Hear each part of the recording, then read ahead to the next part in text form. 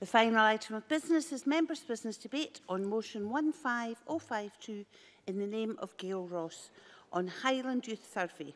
And this debate will be concluded without any questions being put. Would those members who wish to speak in the debate please press the request to speak buttons. And I call on Gail Ross to open the debate for around seven minutes, please. Thank you, President Officer. And I'd also like to start by thanking colleagues for signing my motion and for those that are going to speak in the debate tonight. Communities in the Highlands and Islands have for a long time tried to find solutions to the challenge of depopulation. The loss of our young people has been sorely felt, especially school leavers when lured by the bright lights of the city. Of course, we should never tell young people that they can't follow their dreams. That should be positively encouraged. What we do need to do is make sure that the Highlands and Islands are an attractive place to live, work and study, somewhere for people to come home to. Although retaining our young people has been difficult in the past, new strategies offering the conditions they need to thrive in the Highlands and Islands are starting to have effect. In November, Highlands and Islands Enterprise published the results of their latest survey, Young People in the Highlands and Islands Maximising Opportunity. And this study had two main aims. And from the document itself, it says to provide an overview of the evolving attitudes and aspirations of young people in the Highlands and Islands how these have changed since 2015 and to identify gaps within the current provision of education, training and employment and consider how opportunities can be maximised for young people. The population of the Highlands and Islands was approximately 470,000 in 2016, according to the study. However, those aged 15 to 30 only comprise 17% of the population, compared to 21% across Scotland as a whole. This deficit is mostly acutely felt in the Outer Hebrides, Lochaber, Skye, Wester Ross, Argyll and our islands. Mm. Presiding officer, the first stat that jumps out of the report tells us that 55% of young people are committed to staying in the region. This is up from 43% in 2015. There is also evidence of an increase in potential returners those with an interest in and attraction to living in the region that are from the Highlands and Islands but living elsewhere. 69% of those that do stay feel that they are lucky to be able to work or study locally. This is up from 62% in 2015. 60% of young people think that the Highlands and Islands has a good educational offering. This is up from 56% in 2015 And there is now less of a perception that the young people that stay lack ambition due to the range of further and higher education available.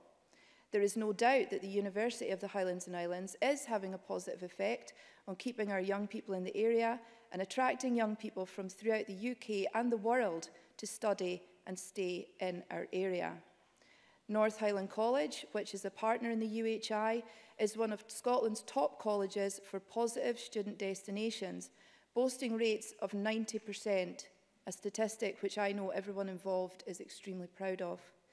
And to add to that, North Highland College and West Highland College student leavers have the highest progression rates into work at 40%, well above the national average. This is North Highland College's third year of delivering foundation apprenticeships, a very welcome endeavour supported by the European Social Fund and enjoyed by young people who've taken the opportunity to learn this way throughout the area. And this year, the subjects that young people can study have been increased by introducing business skills, IT, hardware and system support, and engineering is awaiting approval. And these new subjects send a powerful message to young people that the Highlands are not only open for business, we are open for innovation and success too. And at this point, I would like to draw the Chamber's attention to my register of interest as an advisor to the board of North Highland College. Presiding officer, 87% of young people are proud to be associated with their community, and this is up from 78% in 2015. 64% want to work in the region, up from 44%. I mentioned foundation apprenticeships before, and there is no doubt that the Developing the Young Workforce initiative has been pivotal in pulling together schools, colleges and the public and private sector and encourage them to work together in a way that they never did before. The Caithness and Sutherland Group is facilitated by Caithness Chamber of Commerce and has provided a wide range of employment and career development activities and support, which has been given and led to an increased number of work placements, employability workshops and events, employer-led mock interviews and STEM opportunities. And the development of STEM has been further boosted through support from the Highland City Region deal. This is £315 million worth of funding, consisting of £135 million from the Scottish Government, £127 million from the Highland Council and its partners, and £53 million from the UK Government. And these are good stats, presiding officer, but just like real life, not everything goes up and not everything is good news. So for balance, the numbers participating in their communities is down by 9%. And that statistic surprised me because I attended a Youth Volunteer Awards ceremony in Wick in November and there were loads of young people there, all active in the community, all extremely proud to be receiving their awards And I know that our islands also have a strong cohort of young volunteers, having met some of them in the Parliament last year. Another 38% say a lack of local opportunities is a barrier to achieving employment goals. And while 71% were happy with the choice of subjects they can study, 46% felt that the range of subjects available will limit their post-school options, and this rises to 63% in fragile areas. Now, there is no doubt that there can be issues with school subject choices in rural areas, and one of the main barriers to that is teacher recruitment. I raised the subject of probationary teachers being allocated earlier in the school year to allow more flexibility with subject choices and timetables, and the Education Secretary assured me that this was something he would look into. Half of young people agree that their community is a place where it's okay to be different, and this is the same as 2015. However, Research by LGBT Youth Scotland shows that in rural areas, 81% of LGBT young people experience at least one form of bullying in education, and that 9% of lesbian, gay or bisexual and 27% of transgender young people left education because of this. And this is only one of the reasons that an inclusive approach to education is even more important in the Highlands and Islands. Presiding officer, in conclusion, this is a welcome report that shows more and more young people are realising and taking advantages, advantage of the opportunities offered to them to enable them to live, study and work in the Highlands and Islands. We've always had an issue with depopulation, but we should never completely halt this outward migration and neither should we seek to. They will always want to broaden their horizons, whether that's in other parts of Scotland or other parts of the world. But what this study shows is that we are empowering young people with more choice And the days of being forced away from your community because there are fewer prospects of studying and employment are becoming a thing of the past.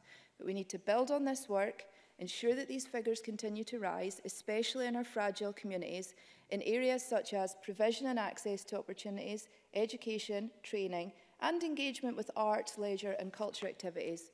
We also need to make sure that there is adequate housing for those who choose to stay or want to come back. Two or three new houses could make a huge difference in places such as Lochcarron, Kinlochbervie or Applecross. And I will leave you with a quote from the report. The Highlands and Islands is such a wonderful place and I always love telling people that that is where I am from. Me too. Thank you.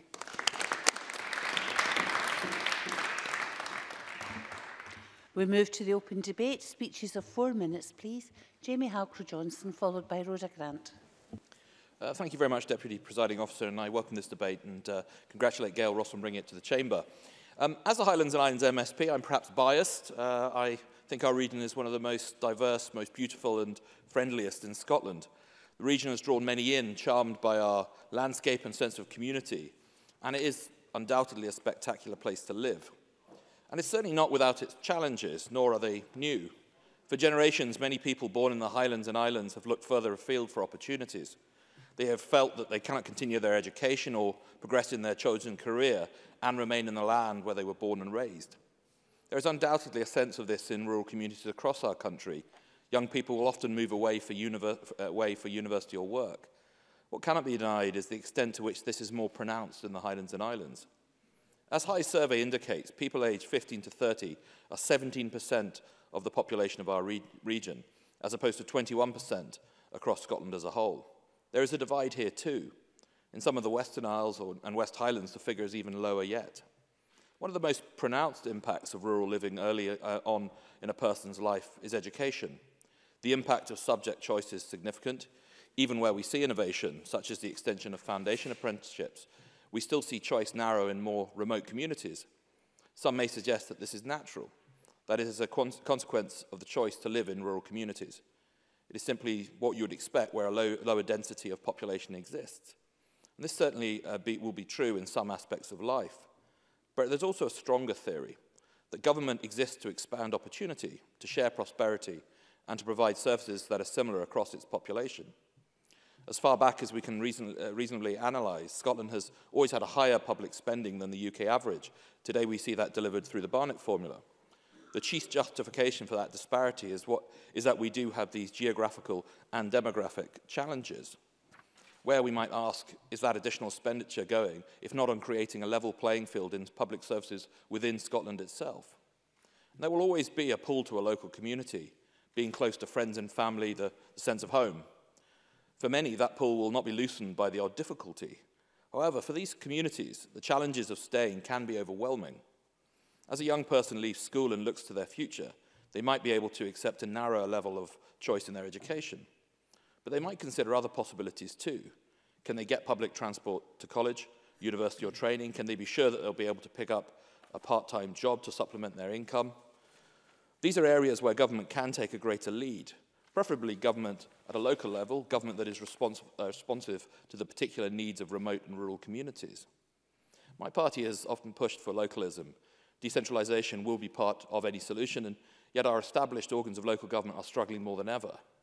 I mentioned foundation apprenticeships, but I should also touch on some of the opportunities pre presented by graduate apprenticeships too. We should also consider how other elements of our education structures, like articulation from college to university, can be valuable in our region. If we can properly adapt these educational routes to our, uh, to our difficult geography, then not only are we increasing life chances, but also providing a route for those re reluctant leavers to stay. These are just a few of the areas that could be mentioned. We could look at infrastructure from roads to broadband or the need to encourage uh, entrepreneurship. I don't feel that these approaches are not understood by policymakers. They are. However, choices are made or not made, and change can be glacial. The challenges of not making progress are stark. The future of young people in the Highlands and Islands is the future of our economy, of our public services, and of the opportunities for generations to come.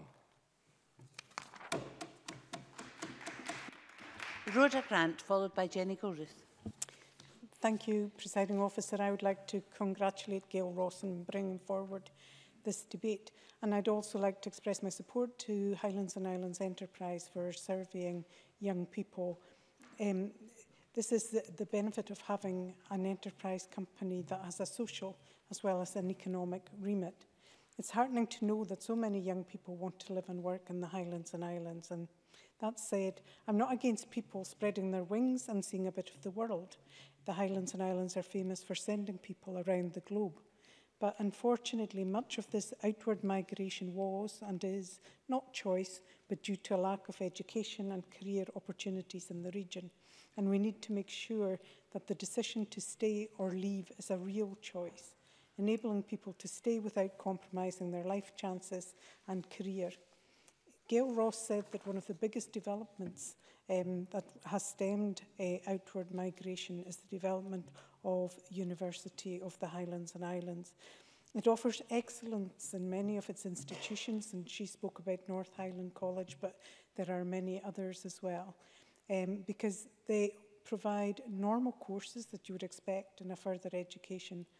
college, but also there is the excellence that comes from a higher education facility. And it's often the combination of both that provides opportunities that are not available in other institutions. However, it's still the case that young people have to move away when their chosen course is not available locally.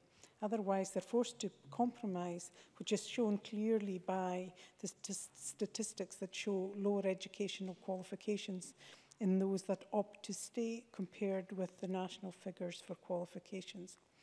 And these figures also disguise movement within the area, with people having to move a distance from home just to access further and higher education. And this leads to internal migration by young people to the more urban areas within the Highlands and Islands. The study also showed that young people wanted to stay in the more fragile areas due to the stronger sense of community But again, we're less likely to be able to do that for career and educational reasons.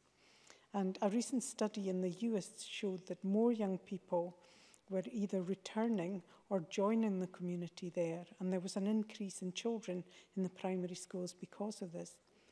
And this trend is due to a number of reasons, but what is crucially important to young people is work, housing and access to services.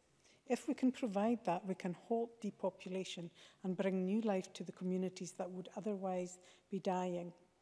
Another issue that Gail Ross touched on in her speech is the issue of diversity. Um, the LGBT Youth Scotland 2017 survey showed that young LGBT people living in rural areas were more likely to have poor mental health because of fewer safe spaces for socialising. And Gil talked about, Gil Ross talked about bullying, and that is totally unacceptable. While rural areas can be the best places in the world to live, no one is anonymous. It makes coming out difficult because you cannot do that gradually due to the lack of privacy. And this lack of privacy makes it difficult for people with poor mental health to seek help when there is an added, when added to that there is the per perception and stigma Therefore, these communities can be the most supportive. Everyone knows everyone else, so that you, can, you are less likely to be looked upon as a one-dimensional person, but for all your attributes. However, we all instinctively want to conform and not stand out from the crowd, so anything that appears to make you stand out can be much more difficult to deal with. The Highlands and Islands is a wonderful place to live. And while I had to move for all the reasons highlighted, um, where I stayed um, when I was a child. My first home will always be home to me. I never chose to leave, and I don't want any other young person to be forced to make that choice. Jenny Gilruth, followed by John Finney.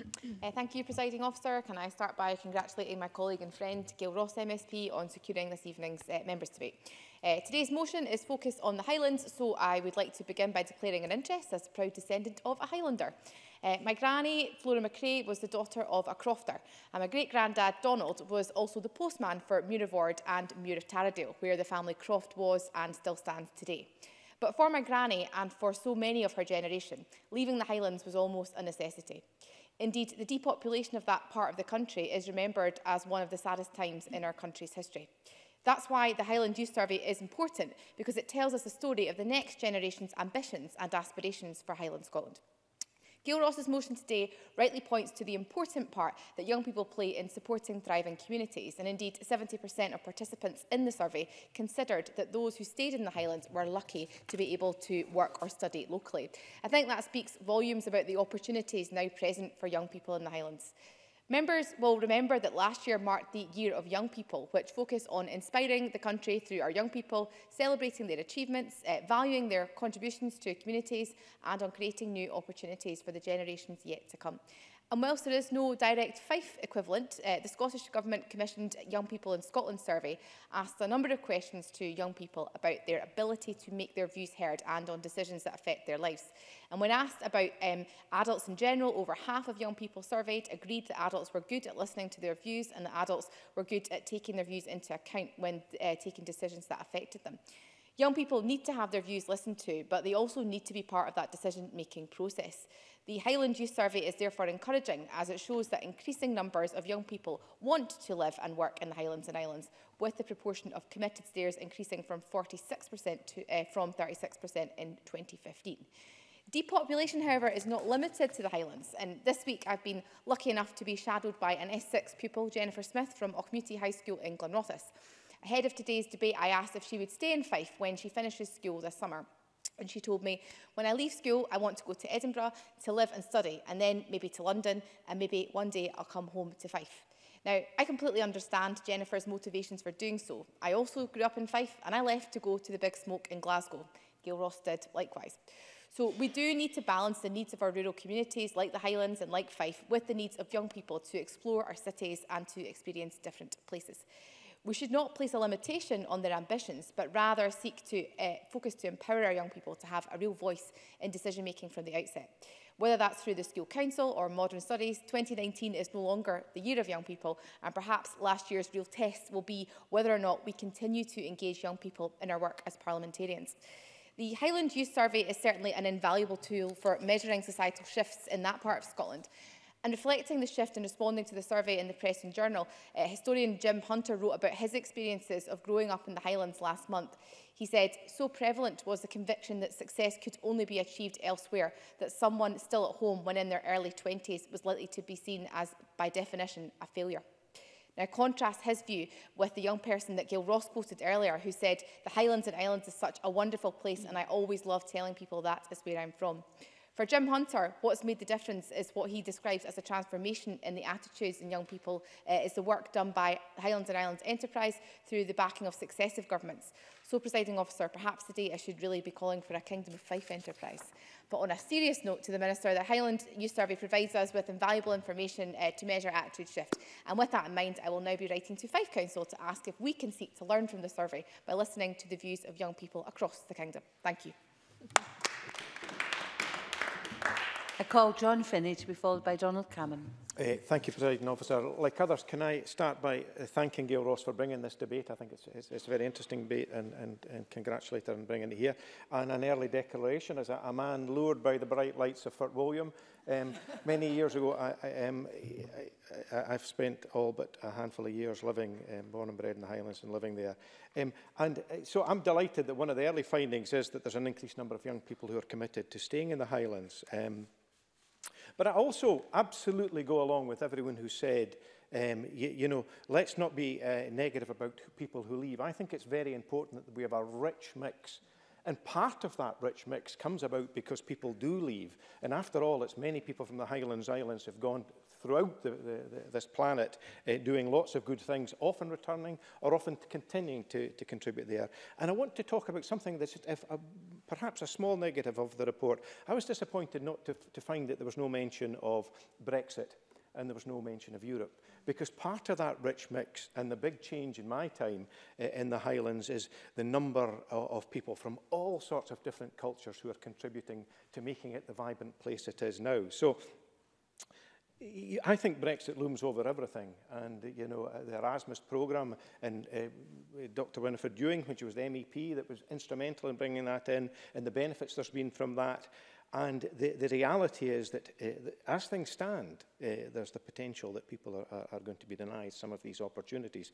So the comparator for this um, uh, survey was the period 2015, the previous survey, to, to now.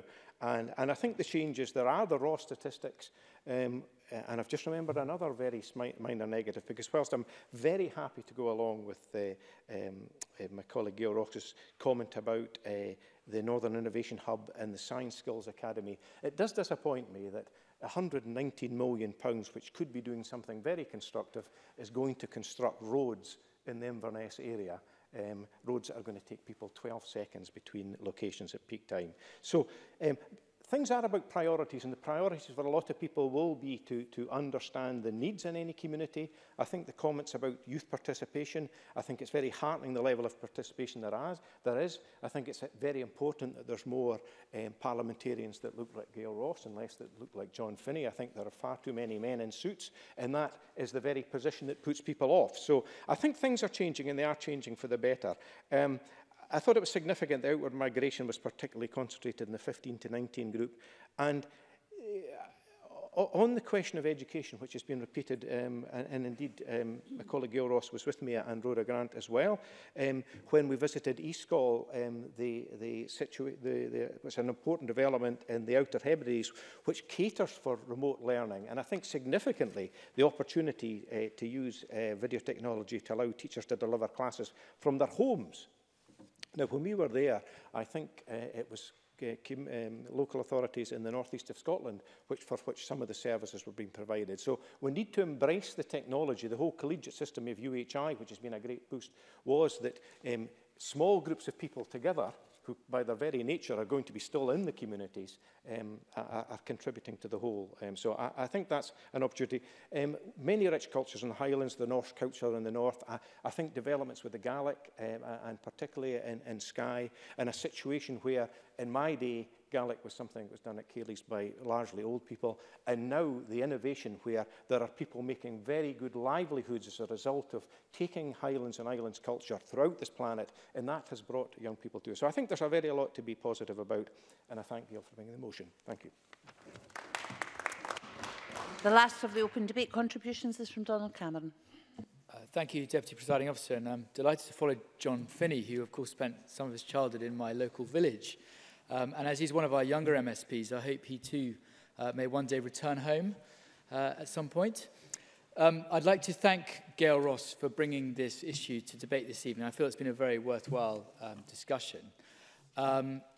in what I think has been a start to this year, which we've seen a lot of pessimism and negativity for all sorts of reasons, it's very pleasing to take part in such a positive debate. And as a Heinz Alliance MSP, like others, I'm all too aware of the issue of depopulation and its major impact on rural and remote communities. And just taking a few statistics from the HIE report, um, the report says that in the 15 to 30 age group, um, 17 to 17% uh, of the of that population age group um, are um, there is a deficit uh, compared to 21% in Scotland as a whole, and that The report also says that the population in the Highlands and Islands is predicted to be stable to 2041, uh, but the 15 to 30 age group is expected, nevertheless, to decrease uh, by 15%, which is a significant number.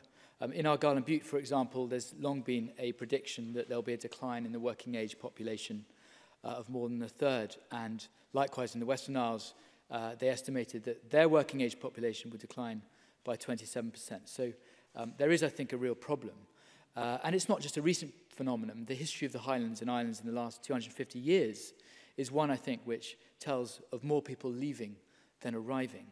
However, with all that said, it's abundantly clear that there are many signs of improving attitudes to living in the Highlands and Islands, and that more young people see a future for themselves in the region, and that is something that we all rightly welcome. Um, I think one speaker spoke, I think it was Rhoda Grant, spoke about the Uists. Um, because last year uh, there was a report that highlighted that unlike other island communities, uh, the US appeared to be bucking the trend, uh, and there's a birth rate rise of 67% in the last decade, which is um, uh, very marked. There was an article in the Herald last year which described that and about how what they called young returners um, were helping to reverse the depopulation trend. And there was a new generation of young people who were keen to lay down their roots in, in their community, in these communities. Um, and many of the reasons cited were, were things such as a feeling of greater safety for bringing up a family, the landscape, the untapped market for business uh, enterprises. Uh, and it's clear, I think, from the, the report, the HIA report, that there are many more opportunities for young people than even just a few years ago. And the report notes that the um, Inverness and Highland uh, City deal is clearly going to have an impact. Um, it mentions projects such as the Northern Innovation Hub uh, and other rural growth deals uh, especially. And um, other speakers, including John Finney, mentioned eSchool, which I visited in Stornoway last year, uh, using technology um, to enable, um, in, in this instance, school children, but um, could easily be extended um, to other, um, in, in other areas. And there's been investment from STEM industries in the region, which I think also gives hope to more long-term uh, economic um, regeneration.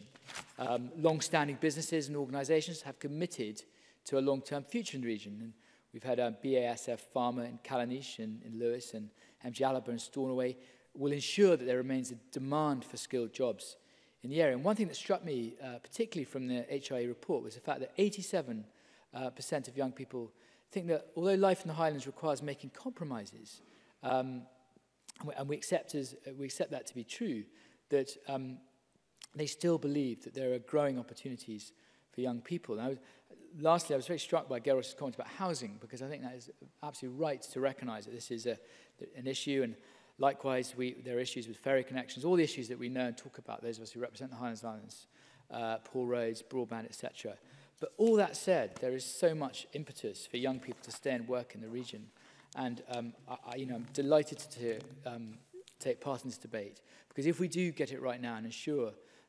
that um, we continue the economic regeneration in the Highlands and Islands, then it will only serve to encourage more young people uh, to live and work and, and make their life there. Thank you.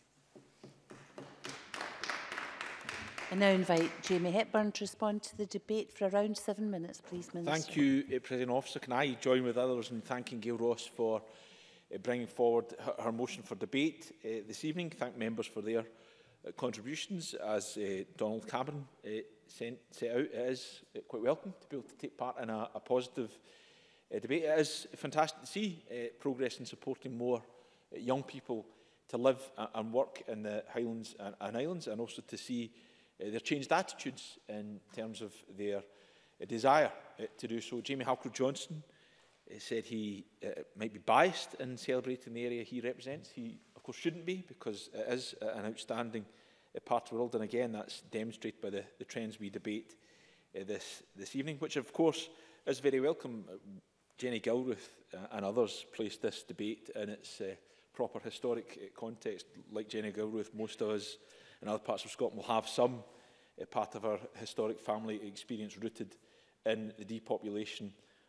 of uh, the Highlands uh, and Islands. So it is welcome to see uh, that situation Uh, turning it uh, around. I will uh, place a lot of my comments this evening, uh, President Officer, in the context of developing a young workforce, which uh, Gail Ross' motion it mentions because that is, I believe, making a positive difference. I believe making a positive difference the length and breadth of the country, but certainly in the Highlands and Islands. But before I, I turn to that, I want to, to talk about the role of uh, Highlands and Islands Enterprise. Uh, clearly, they've had a role in relation to the very welcome report that they have uh, pulled together. We should thank them for uh, that uh, work, but they also are uh, uh, integral uh, in terms of creating the, the right conditions for the Highlands and Islands to uh, thrive. They've been involved in uh, supporting the right conditions for Scotland's employers and their progress uh, in implementing the, uh, the city region uh, deal, delivering projects such as the Northern Innovation Hub and the Science Skills Academy. So we should uh, commend the work of HIE and, of course, the role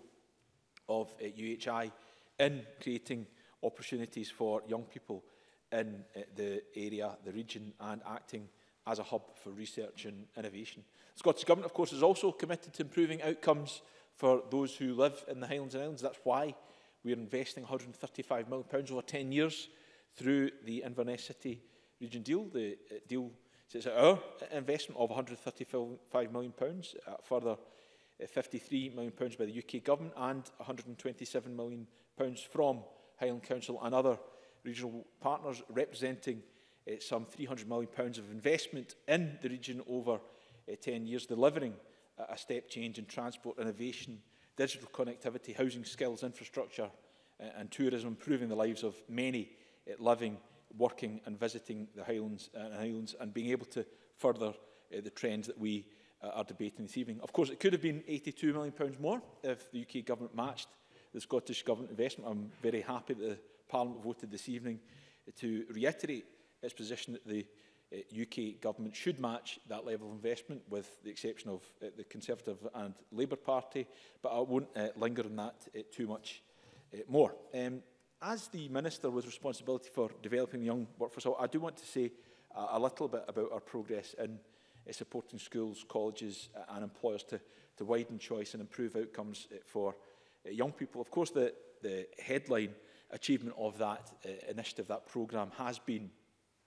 achieving uh, the reduction in youth unemployment by 40% from 2014 levels by 2021 was the ambition. We achieved that four years early, but of course we want to build on uh, that progress. Uh, and in terms of the, the Highlands and Islands, uh, we, uh, it's critical that we continue uh, our long-term plan to uh, strengthen uh, education and skills partnerships between schools colleges, training providers and uh, employers based on the local uh, circumstances. And in that regard, uh, I'm pleased to note the positive shift in perceptions of young people in uh, the area. I, I think that is undoubtedly down to a variety of factors. Uh, of course, the fact that it is an outstanding part of the world to live in, but also the efforts that schools uh, and others are taking to uh, redesign and refocus their curriculum offer to better meet uh, employer and young people's needs. We, we spoke about the uh, issue of young people leaving uh, the, the Highlands and Islands. And of course, as uh, Gail Ross, Rody Grant uh, and John Finney and others made the point, there's nothing, absolutely nothing wrong with young people uh, leaving any part of uh, the country they live in, if that's what they aspire to do, if that's uh, an opportunity they want to take up. But all too often when I uh, visit areas, any part of uh, the, the country, but particularly rural communities, it's often because of a misperception that there are limited opportunities available on uh, the young person's own uh, doorstep. And we have to break down those misperceptions because that creates the idea that a young person has to leave uh, the area that they've grown up in. And that is not always uh, the case. Uh, I've seen that uh, happen on more than one occasion. I've been able to, through the Developing the Young Workforce uh, Initiative, uh, engage with young people who've actually taken up an opportunity that's on their doorstep. And quite often it'll be with an employer that's been there for generations that they did not know was based in their own uh, community. So that's why it's so uh, important to have employers involved in uh, the delivery of developing the young workforce. And of course, uh, we have 21 uh, industry-led regional groups, six of which are uh, in the Highlands and Islands, all working towards the same eh, aim, but of course being locally responsive to their own eh, local economic and skills eh, needs. and I've been very happy to visit across the country and to those groups in the Highlands and Islands, and I look forward to being able to return again in the, the future.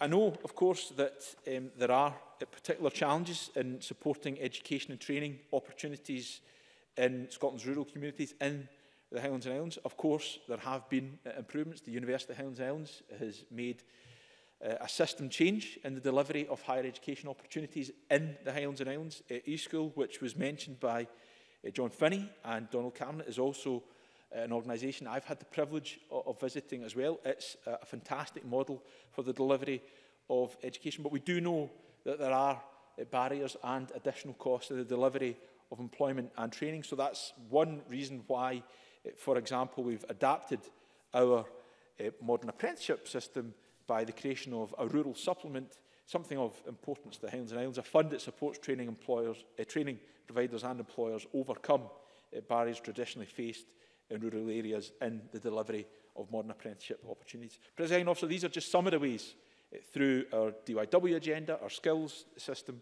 and our strategic economic investment, we are committed to supporting young people in the Highlands and Islands, and Gail Ross and other members can be assured of that ongoing commitment. That concludes the debate and this meeting is closed.